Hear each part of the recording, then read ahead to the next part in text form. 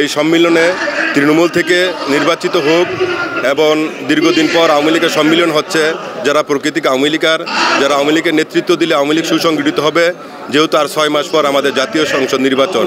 আমরা চাই গজারিয়া থানাতে ঐক্যবদ্ধ একটি আজকের কমিটি উপহার দেব যাতে সকলে সম্মিলিতভাবে একত্রে কাজ করে গজারিয়া থানার থেকে বিএনপি জামাত সন্ত্রাসীকে নির্মূল করে ইনশাল্লাহ খুব ভালো নেতৃত্ব আশা করি এবং আমরা সারা গজেরে উপজেলার, আমি ইসলাম বাইরের সভাপতি চাই।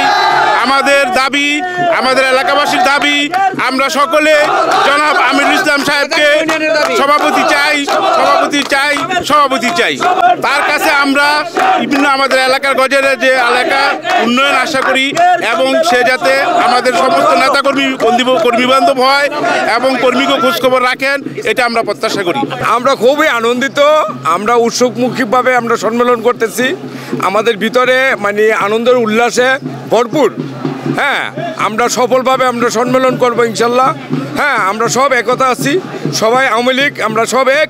গজারিয়া মহিলা লীগের সাংগঠনিক সম্পাদিকা। আজকে এই সম্মেলনের মাধ্যমে কেমন নেতৃত্ব আশা করছেন? নেতৃত্ব তো অনেক ভালো। মানে কেমন নেতৃত্ব আশা করেন? কেমন নেতা আশা করেন আপনারা? আমরা ন্যায় নিষ্ঠাবান ভালো। আচ্ছা আপনারা তৃণমূল কর্মী আছেন। তারা এই যারাই আসুক না কেন এই যে থানা উপ- উপজেলা কমিটিতে তাদের কাছে কি প্রত্যাশা করেন? প্রত্যাশা ভালো নেতা নেত্রীর জন্য সবাই ভালো প্রত্যাশা করে। আশা করি তাদেরকে ভালো কিছু আমরা পাবো।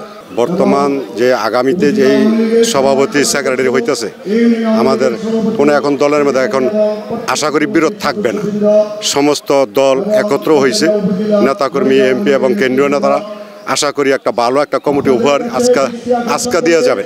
আজকা আঠারো তারিখে আজকা একটা ভালো কমিটি উপহার আমাদের গজারা থানা আমলিকেদের মাঝে দেওয়া যাবে। আজকে এই সম্মেলনের মাধ্যমে আমার বাবা ছিলেন এই কমিটির বর্তমান সভাপতি ছিলেন। উনি মারা যাওয়াতে ভারপ্রাপ্ত সভাপতি তিন বছর তাদের চলছে। যার কারণে এখন সম্মেলনটা খুব জরুরি হয়ে পড়ছেন যে নতুন নেতৃত্বে যাতে ভালোভাবে আসে এবং ইয়াং এবং প্রবীণ মিলে দুটো মিলে যাতে আমরা সংমিশ্রণে যাতে একটা গজের উপজেলা আওয়ামী লীগের একটা ভালো কমিটি পেতে পারি। সেই আশায় আমাদের লিডার থেকে আশা করি।